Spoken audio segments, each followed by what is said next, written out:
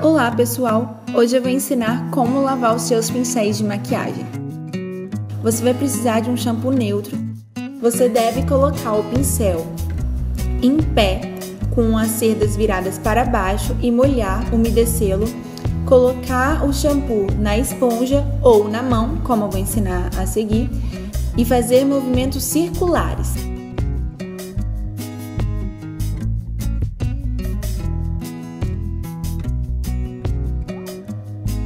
Você deve repetir o processo quantas vezes precisar até o pincel estar totalmente limpo. Eu comprei essa semana essa esponja de silicone da Macrilan e resolvi testar. Não deu muito certo sem apoio, então eu coloquei a mão e funcionou super bem. A esponja de silicone, ela tem uma textura para poder ajudar a limpar.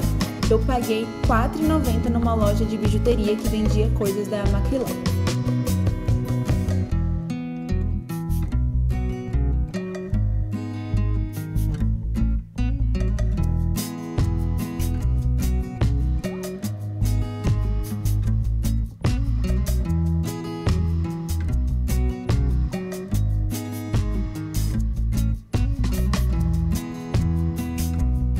Então é isso, um tutorial bem rapidinho. Se vocês gostaram, curtam o vídeo e não deixe de se inscrever no nosso canal para assistir os próximos vídeos.